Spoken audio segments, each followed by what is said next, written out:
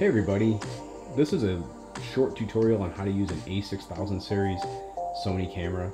Uh, A6600, A6400, A6000, A6100, all of those fall into this range. It look very similar. This one is an A6400 as you can see on the uh, lower left hand side. Uh, so first thing to go over is how to turn the camera on and off. Uh, it's just this little switch right here. You can see you can turn it off, turn it on. Obviously, when not in use, you want to shut it off. Even if you're walking around for a minute or two, uh, they they turn on and off really really fast, so you don't have to worry about it. Um, you know, you just don't want to lose battery, so turn it off when you're not using it.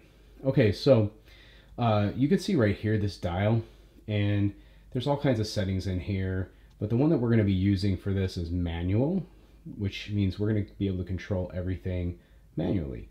Uh, this is shutter priority, aperture priority, program, auto. There's a bunch of other modes that we can use, but for this uh, lesson and learning how to use these cameras properly, we'll go ahead and use the manual mode. Okay, so let's look at the back here. So as you can see, this is our manual dial right there, or our mode dial. And we have another dial right here. And this dial is going to let us change the f-stop. So if I go ahead and I roll this, this way you can see the f-stop is changing. Now that the f-stop is larger, it's letting in more light so the image looks brighter. And if we pull up the histogram, and the way I'm going to do that is this dial right here is kind of like a keypad that you might have on a game uh, controller. I'm just going to press up and there I get my histogram. So that's it. This is just going for the display. It says DISP and I can change the stuff that it's displaying on screen. So right now we could see that the histogram is clipping because I just lowered the f-stop, meaning that more light is, is getting in because the aperture is open wider. Okay, so how might we change the ISO or so, something else to make it so we get a good, nice balanced histogram? Well, let's go into the ISO. So all I have to do is use this keypad, press it once to the side, and you can see there's the ISO numbers.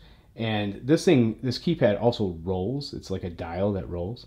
So I can go ahead and pull this down to, let's say, 100. And hit the middle button. There's a button right in the middle. You just hit that and it'll let go of that screen and go back to the normal screen. I'm going to hit up twice for the display. This display uh, is something that the the exposure uh, that we're getting is going to be uh, set or at least be able to be visualized by this uh, little set of numbers here. And there's a little tick mark over it. And when it's at the when that tick mark is at the zero that means we have our setting just the way we want it. Okay?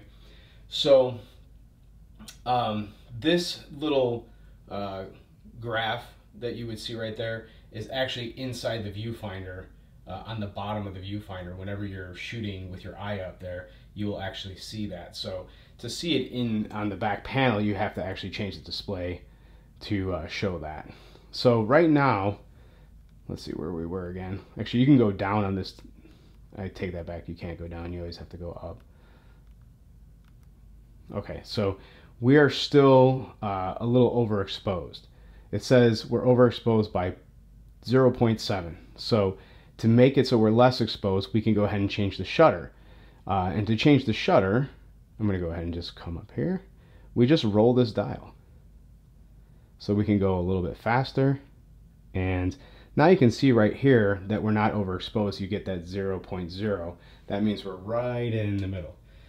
So we've just learned that rolling, uh, changing the shutter speed is just rolling this dial back and forth, okay?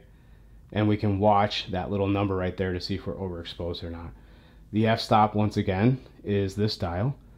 So I can change the f-stop. Let's go a little bit darker. So we're gonna get more depth of field because we've, we're dialing down the aperture.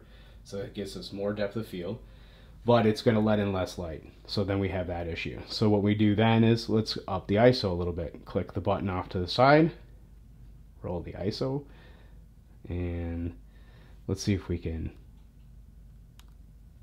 where are we at there? We're at 0.3 over. So um, I like to be either right on or a little bit under.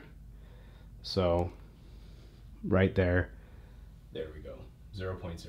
Okay, so that's pretty much like a perfect exposure. Let's go over a couple more things and then we can get going and start taking pictures.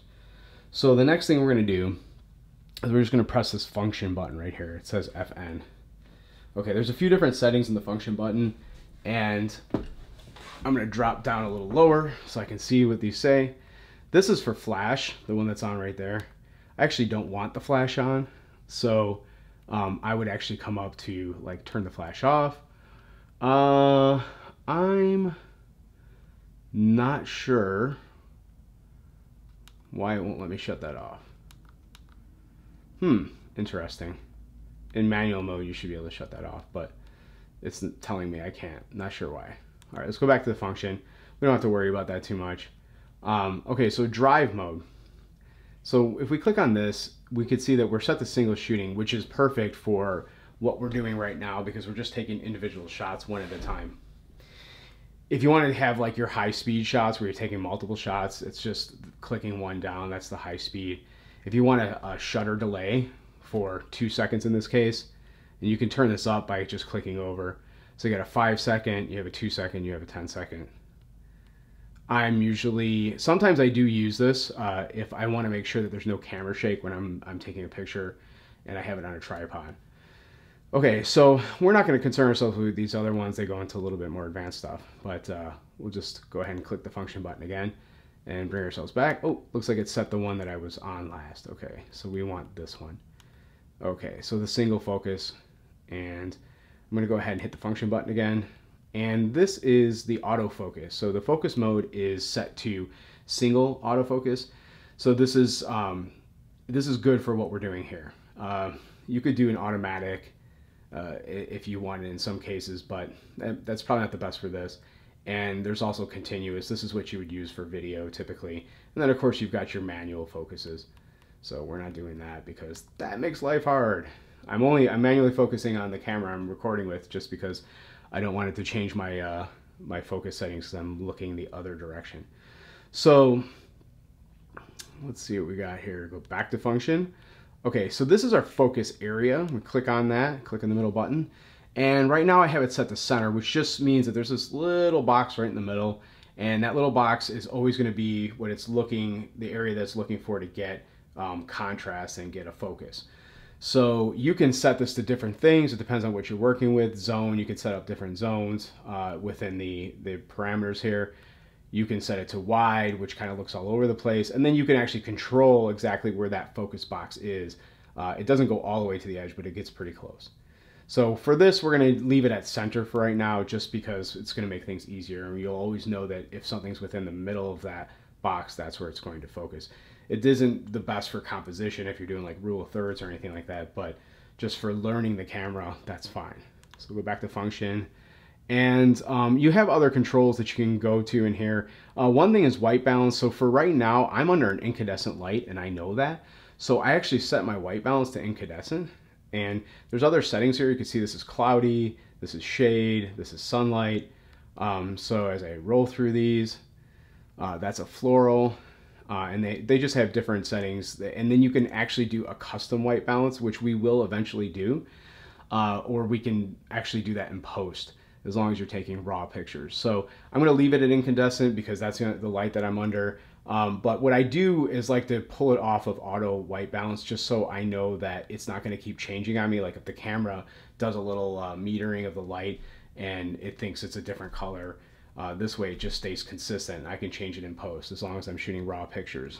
So um, the cameras should be set to raw uh, to take raw pictures, but if you, you know, for some reason found that you weren't getting raw pictures, you just go to the menu and it's actually literally the first thing in the whole entire menu system is file format and you can see it's set to raw.